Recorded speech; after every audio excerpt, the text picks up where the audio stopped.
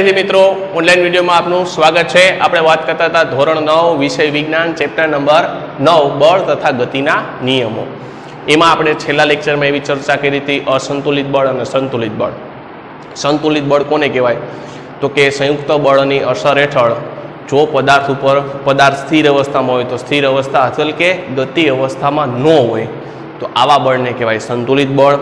સંતુલિત બળનું પરિણામી બળ કેટલું હોય તો કે સંતુલિત બળનું પરિણામી બળ કેટલું હોય તો કે શૂન્ય.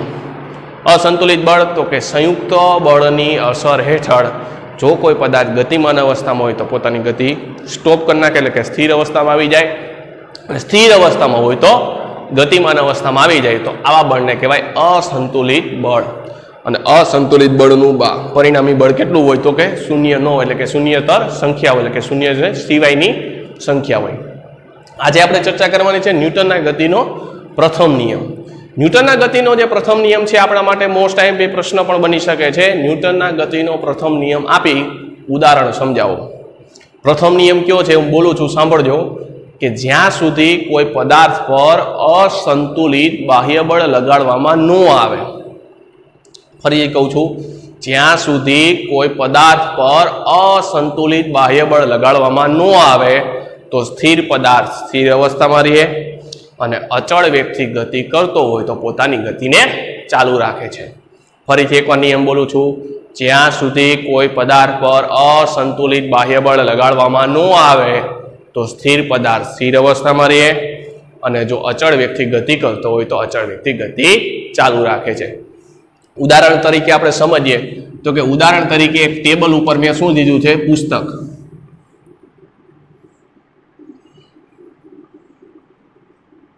ટેબલ ઉપર શું લીધું મેં? પુસ્તક લીધું છે. અને પુસ્તકને શું કરીશ તો પુસ્તક અત્યારે ટેબલ ઉપર કઈ અવસ્થામાં છે? તો કે પુસ્તક અત્યારે ટેબલ ઉપર સ્થિર અવસ્થામાં છે. પણ સ્થિર અવસ્થામાં ક્યાં સુધી રહેશે? તો કે એના ઉપર જ્યાં સુધી બાહ્ય બળ ન લાગે, ત્યાં સુધી પોતે પુસ્તક સ્થિર અવસ્થામાં રહેશે. પણ જ્યારે તમે એના ઉપર બાહ્ય બળ લગાડશો એટલે પુસ્તક કેવી અવસ્થામાં આવી જશે? તો કે પોતાની ગતિ અવસ્થા કેવી રાખશે? તો કે ચાલુ રાખશે. ત્યાર પછી છે જડત્વ. જો કે જડત્વનો જે વ્યાખ્યા છે એ અને ન્યૂટનના ગતિના પ્રથમ નિયમની જે કઈ વ્યાખ્યા છે એ બે એક સરખી જ લાગશે તમને. જડત્વની વ્યાખ્યા શું છે? તો કે જ્યારે કોઈ પદાર્થ ઉપર અસંતુલિત બાહ્ય બળ લગાડવામાં ન આવે, તો પદાર્થ સ્થિર અવસ્થા કે પોતાની ગતિ અવસ્થા છે એ જાળવી રાખે છે. ફરીથી કહું છું, જ્યાં સુધી કોઈ પદાર્થ પર અસંતુલિત બાહ્ય બળ લગાડવામાં ન આવે, તો પદાર્થ પોતાની સ્થિર અવસ્થા અથવા ગતિ અવસ્થા પોતાની જાળવી રાખે છે. જડત્વ તો કે જડત્વ એ પદાર્થનો જે કયા ગુણધર્મ છે, સ્થિર અવસ્થા અથવા ગતિ અવસ્થા જે જાળવી રાખવાનો જે ગુણધર્મ છે એ જ ગુણધર્મને કહેવાય પદાર્થનું જડત્વ કહેવામાં આવે છે. હવે કોઈ વસ્તુ હોય છે કોઈ વસ્તુ સ્થિર અવસ્થામાં હોય છે અથવા તો પોતાની અચળ વ્યક્તિ ગતિ જે ચાલુ રાખતું હોય છે એ જે કાંઈની પ્રકૃતિ છે એ પ્રકૃતિને કહેવામાં આવે છે પદાર્થનું જડત્વ. શું? તો કે કોઈ પદાર્થ સ્થિર અવસ્થામાં હોય, તો સ્થિર અવસ્થા અથવા ગતિ કરતો હોય, તો અચળ વ્યક્તિ ગતિ રાખવાની જે કંઈ ગતિ ચાલુ રાખવાની જે કંઈ પ્રકૃતિ છે, એ પ્રકૃતિને કહેવાય પદાર્થનું જડત્વ. અને ખાસ અહીંથી એક માર્કનો બીજો એમસીક્યુ પૂછી શકે છે કે ન્યૂટનના ગતિનો પ્રથમ નિયમ એ બીજો કયો નિયમ આપે? તો યાદ રાખજો, બીજો જડત્વનો નિયમ આપે. ન્યૂટનના ગતિનો જે પ્રથમ નિયમ છે, એ બીજો કયો નિયમ આપશે? જડત્વનો આપશે. અને જડત્વના પ્રકાર કેટલા? ત્રણ. પેલું સ્થિર સ્થિતિનું જડત્વ, બીજું ગતિનું જડત્વ, ત્રીજું દિશાનું જડત્વ. કેટલા પ્રકાર? ત્રણ. સ્થિર સ્થિતિનું જડત્વ, ગતિનું જડત્વ અને દિશાનું જડત્વ. પેલા છે સ્થિર સ્થિતિનું જડત્વ, તો કે પદાર્થનો જે કે આ ગુણધર્મ છે એ જડત્વનો ગુણધર્મ શું થશે? તો કે પદાર્થ કોઈ છે એ સ્થિર સ્થિતિમાં છે તો સ્થિર સ્થિતિમાં જ રહેશે. પણ ક્યાં સુધી? જ્યાં સુધી પદાર્થ ઉપર અસંતુલિત બાહ્ય બળ લગાડવામાં ન આવે, ત્યાં સુધી પદાર્થ કેવો રહેશે? તો કે પોતાની સ્થિર સ્થિતિ જાળવી રાખશે. કેવી રીતે? તો કે દાખલા તરીકે આપણે ઘણીવાર બસની અંદર આપણે ઊભા હોઈએ છીએ. બસની અંદર ઊભા હોય છે ત્યારે શું થાય છે? તો કે બસ ક્યારેક અચાનક ચાલુ થાય. બસ અચાનક ચાલુ થવાને લીધે શું થશે? તો કે આપણો ધળથી જે નીચેનો જે ભાગ છે, એ બસની જે સપાટી છે એને સંપર્કમાં હશે. જ્યારે ઉપરનો ભાગ શું હશે? એ સંપર્કમાં નહીં હોય. અને જ્યારે બસ અચાનક ચાલુ થવાને લીધે શું થશે તો કે આપણે કઈ તરફ ગતિ કરીએ છીએ? તો કે પાછળની તરફ ગતિ કરીએ છીએ. પાછળની તરફ ગતિ કરીએ તો આવું થવાનું કારણ શું છે? તો આવું થવાનું એક જ કારણ છે કે જ્યારે આપણો પગ જે હતા, એટલે કે ધડથી નીચેનો જે ભાગ હતો એ શું હતો? બસની સાથે સાથે ગતિમાં રહેવાનો પ્રયત્ન કરતો હતો. જ્યારે ઉપરનો જે ધડથી ઉપરનો ભાગ હતો એ શું હતો? તો કે સ્થિર રહેવાનો પ્રયત્ન કરતો હતો, એટલે કે જડત્વની જે કાંઈ નિયમ છે એને વિરોધ કરતો હતો. એટલે કે જ્યાં સુધી કોઈ પદાર્થ સ્થિર અવસ્થામાં હોય તો સ્થિર અવસ્થામાં જ રહે. પણ ક્યાં સુધી એના ઉપર બાહ્ય બળ ન લાગે? દાખલા તરીકે મારા હાથમાં જે ચોકસ્ટિક છે, તો ચોકસ્ટિક અત્યારે કેવા સ્થિર સ્થિતિમાં છે તો કે સ્થિર સ્થિતિમાં. પણ સ્થિર સ્થિતિમાં ક્યાં સુધી રહેશે? એના ઉપર જ્યાં સુધી હું બાહ્ય બળ લગાડું નહીં, ત્યાં સુધી ચોકસ્ટિક કેવી સ્થિતિમાં રહેશે? તો કે પોતે સ્થિર સ્થિતિમાં રહેશે. ત્યાર પછી છે ગતિનું જડત્વ. પદાર્થનો જે જડત્વનો જે આ ગુણધર્મ છે કેવું હોય છે? તો કે જ્યાં સુધી કોઈ પદાર્થ જો અચળ વ્યક્તિ ગતિ કરતો હોય છે, તો પોતાની ગતિ અચળ વ્યક્તિ ચાલુ રાખશે. પણ ક્યાં સુધી તો જ્યાં સુધી એના ઉપર અસંતુલિત જે કંઈ બાહ્ય બળ છે, એ અસંતુલિત બાહ્ય બળ ન લાગે, ત્યાં સુધી પદાર્થ શું કરશે? પોતાની અચળ વ્યક્તિ ગતિ ચાલુ રાખશે. દાખલા તરીકે, આપણે જ્યારે ગાડીમાં બેઠા હોય ફોર વ્હીલમાં અને ફોર વ્હીલમાં ડ્રાઈવરની સીટ ઉપર જ્યારે ડ્રાઈવર જ્યારે ગાડી ચલાવતો હોય, અથવા બીજા આજુબાજુમાં કોઈ વ્યક્તિ બેઠા હોય એની પણ વાત કરી શકાય. પણ આપણે ડ્રાઈવરનું ઉદાહરણ લઈએ તો કે ડ્રાઈવર જ્યારે ગાડી ચલાવતો હોય અને વચ્ચે કંઈ કોઈ વસ્તુ આવી જાય તો અચાનક જ્યારે બ્રેક મારે છે તો બ્રેક મારવાથી શું થાય? તો કે આપણી ધડથી જે ઉપરનો ભાગ છે એ કઈ બાજુ આવી જાય? તો આગળની તરફ આવી જાય, જ્યારે આપણા પળ ધડથી નીચેનો જે ભાગ છે, એ પોતે પોતાની અવસ્થા જાળવી રાખે છે, ગતિ અવસ્થા. ઉપરનો ભાગ સ્થિર થવાનો પ્રયત્ન કરે છે. પણ આવા કિસ્સામાં જ્યારે તમે સીટ બેલ્ટ નથી બાંધતા સીટ બેલ્ટ નથી બાંધતા, એટલે શું થાય? તો કે આવા કિસ્સામાં ક્યારેક માણસ અકસ્માત થઈ શકે છે અને ક્યારેક એનું મૃત્યુ પણ થઈ શકે છે. તો આવા કિસ્સામાં માણસોએ સીટ બેલ્ટ બાંધવો જોઈએ. જેની મદદથી આપણું ધડ વધારે પડતું આગળ ન જઈ શકે અને અકસ્માતથી આપણે બચી શકીએ.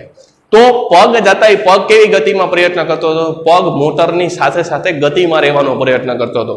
પણ જ્યારે ધડથી જે ઉપરનો ભાગ હતો, એ ધડથી ઉપરનો ભાગ કેવો પ્રયત્ન કરતો હતો? પોતે સ્થિર થવાનો પ્રયત્ન કરતો હતો, એટલે કે આપણું શરીર કઈ બાજુ વધી જતું હતું? કે આપણું શરીર આગળની બાજુએ જવાનો પ્રયત્ન કરતો હતો, એટલે કે જડત્વનો વિરોધ કરતો હતો. ત્યાર પછી છે ત્રીજું, ગતિનું જડત્વ. ગતિનું જડત્વ કોને કહેવાય? તો કે પદાર્થનો જડત્વનો જે કાંઈ ગુણધર્મ છે કેવો હોય છે? તો કે જો કોઈ પદાર્થ અચળ વ્યક્તિ ગતિ કરતો હોય છે, તો અચળ વ્યક્તિ ગતિ ચાલુ રાખશે. પણ ક્યાં સુધી? તો કે જ્યાં સુધી એના ઉપર અસંતુલિત બાહ્ય બળ નહીં લાગે, ત્યાં સુધી શું કરશે? તો કે પદાર્થ પોતાની અચળ વ્યક્તિ ગતિ ચાલુ રાખશે. ઉદાહરણ તરીકે સમજીએ, તો કે આપણે જ્યારે બસમાં ઊભા હોઈએ છીએ, ત્યારે બસ અચાનક જ્યારે તીવ્ર વળાંક લે તીવ્ર વળાંક લે એટલે બસ જો આ બાજુ વળાંક લેતી હોય તો આપણું શરીર આમ નમે. એટલે કે દિશા આયરામ નમે છે. પછી બસ દાખલા તરીકે આમ વળાંક લેતી હોય તો આપણું શરીર આ બાજુ નમે છે. એટલે કે દિશા સાથે સાથે આપણું નમન થાય છે. તો આવું શું કામે થાય? તો કે આપણું જે કંઈ બસ જે વળાંક લે છે, એ બસ કેવી સ્થિતિમાં હોય તો કે ગતિ સ્થિતિમાં પણ આપણું જે શરીર છે, એ પોતાનું સ્થિર સ્થિતિમાં જાળવી રાખવાનો પ્રયત્ન કરે છે. બરાબર? તો આ ત્રણ જડત્વના પ્રકાર હતા. સ્થિર સ્થિતિનું જડત્વ પછી હતું ગતિનું જડત્વ, ત્રીજું હતું દિશાનું જડત્વ. ત્યાર પછી છે દળ અને જડત્વ વચ્ચેનો સંબંધ. તો આ પ્રશ્ન આપણે સમજવા માટે આપણે શું કરશું? તો કે બે ઉદાહરણ લઈશું પેલું એક તો કે ભાઈ ફૂટબોલનો દડો છે અને બીજું છે પથ્થર, મોટો પથ્થર. તો ફૂટબોલના દડાને જ્યારે તમે પગ વડે કિક મારો છો, તો ફૂટબોલનો દડો આસાનીથી સેલાઈથી દૂર જઈ શકે છે. પણ જ્યારે એ જ કિસ્સામાં જ્યારે મોટો પથરો છે, એ મોટા પથરાને જ્યારે તમે કિક મારો તો મોટો પથરો સહેલાઈથી દૂર જઈ શકતો નથી. આવું શા માટે? તો કે પથ્થરનું દળ કેવું છે? તો કે વધારે. અને ફૂટબોલનું દળ કેવું છે? તો કે ઓછું. તો ફૂટબોલનું દળ ઓછું હતું એટલે સહેલાઈથી પોતાનું ઝડપ મીન્સ કે સહેલાઈથી પોતાની અવસ્થા બદલી શકતો હતો, એટલે કે સ્થિર સ્થિતિમાંથી કેવી સ્થિતિમાં આવી શકતો હતો? ગતિ અવસ્થામાં. પણ જ્યારે પથ્થરનું દળ વધારે હતું તો પોતાનું સ્થિર અવસ્થા બદલી નહોતો શકતો, પોતાની અવસ્થા હતી જાળવી રાખતો હતો.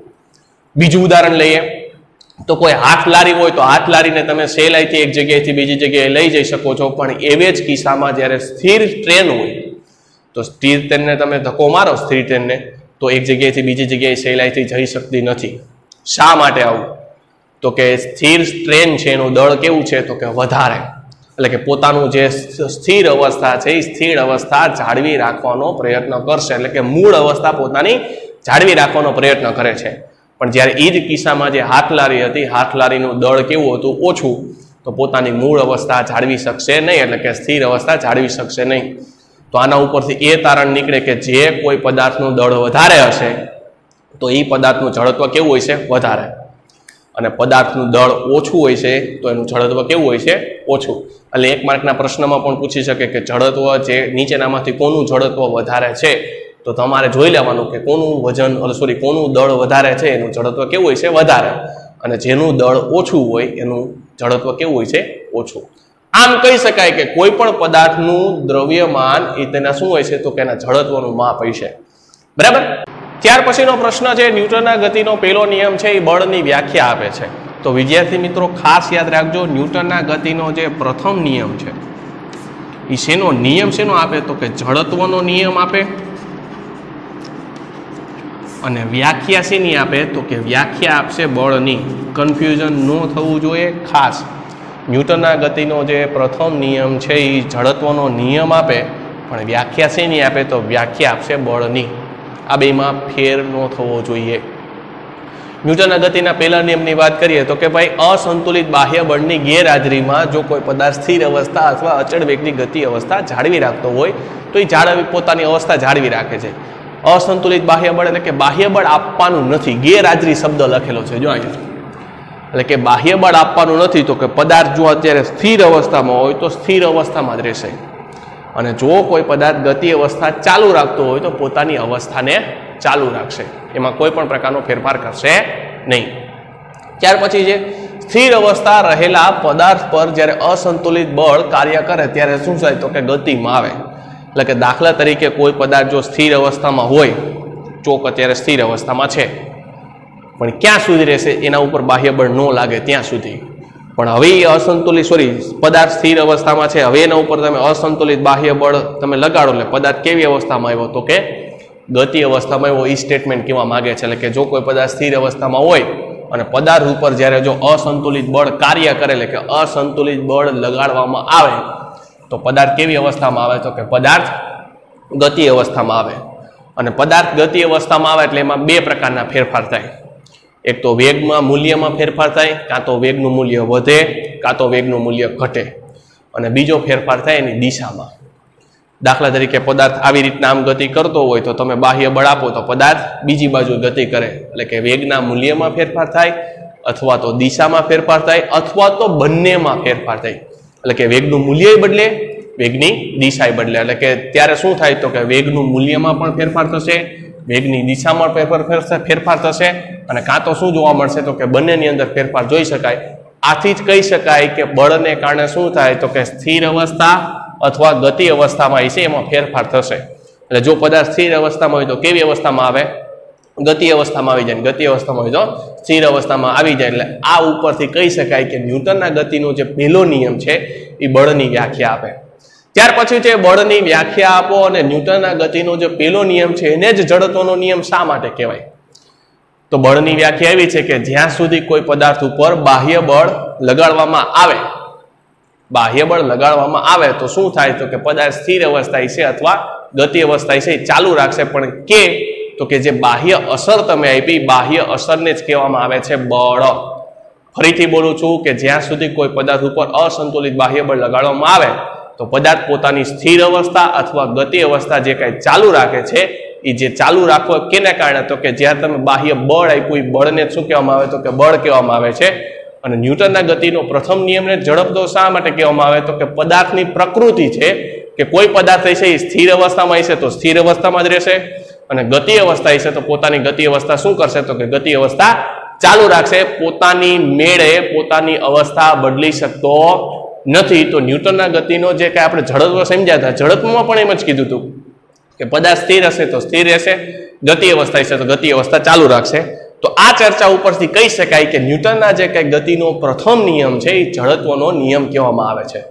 તો વિદ્યાર્થી મિત્રો, આજે જે કંઈ આપણે પ્રશ્નો સમજ્યા છે, એ પ્રશ્નો તમારે તમારી ફેરબુકમાં સારા અક્ષર લખવાના છે. Thank you